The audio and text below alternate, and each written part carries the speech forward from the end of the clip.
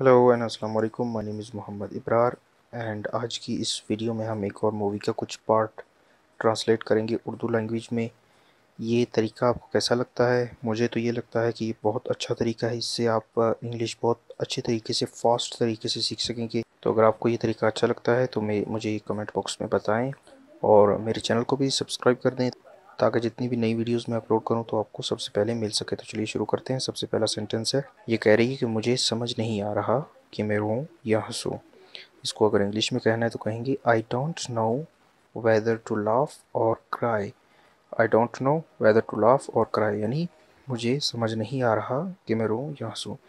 तो यहाँ पर ये कह रही है, मैं तुमसे हाथ जोड़कर दरख्वास्त करती हूँ, यानी I request you with folded hands I request you with folded hands यानी मैं तुमसे हाथ जोड़कर रिक्वेस्ट करती हूँ।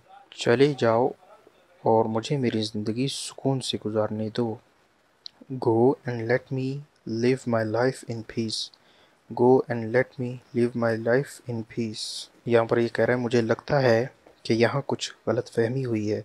मुझे लगता है कि यहाँ कुछ गलत फहमी हुई है। I I think I think there has been some misunderstanding here मैं तो यहाँ सिर्फ़ बात करने आया हूँ। मैं तो सिर्फ़ यहाँ बात करने आया हूँ। I am here just to talk I am here just to talk क्या मैं तुमसे उस मसले पर अकेले में बात कर सकता हूँ? May I talk to you in private about the matter पहले ही ग्यारह बज चुके हैं। अब मुझे जाना होगा। It's already eleven o'clock I must be leaving now अगर मैं खुलकर बोलूँ तो मैं तुम्हारे साथ काम नहीं कर सकता।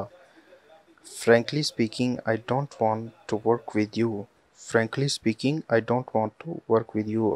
तुम हमारे भरोसे के लायक नहीं हो. You are not worthy of our trust you are not worthy of our trust जब मैं ताइवान में था तब मेरी उससे दोस्ती हुई. I became friends with him while I was in Taiwan अब मैं उसे ज़्यादा बर्दाश्त नहीं कर सकता। I can't tolerate him any more I can't tolerate him any more अब मैं उसे ज़्यादा बर्दाश्त नहीं कर सकता। किसी को बर्दाश्त करने की भी एक हद होती है। There is a limit to how much one can tolerate there is a limit to how much one can tolerate अच्छा होगा अगर तुम इस ख़राब मौसम में बाहर ना जाओ। You had better not to go out in this bad weather. You had better not go out in this bad weather.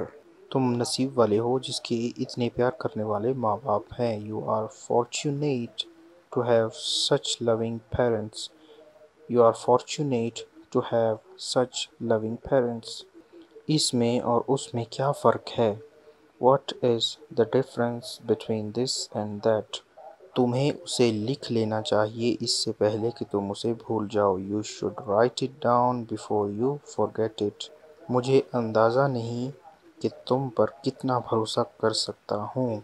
I have no idea to what extent I can trust you मैं आसानी से हार मानने वाला इंसान नहीं हूँ। I am not the sort of guy who gives in easily मुझे ये लग ही रहा था कि तुम आओगी। I had a feeling you would come back. I had a feeling you would come back. जो दिखता है वो हमेशा सच नहीं होता What seems isn't always the truth. What seems isn't always the truth. तुम कहना क्या चाहती हो What do you want to say? What do you want to say? तुमने मुझ पे यकीन करके बहुत बड़ी गलती कर दी है You made a big mistake by trusting me. कौन कहता है कि मैं तुम पर यकीन करता हूँ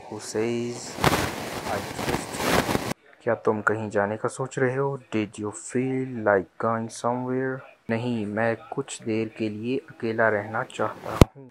No I just wanted to be alone for a while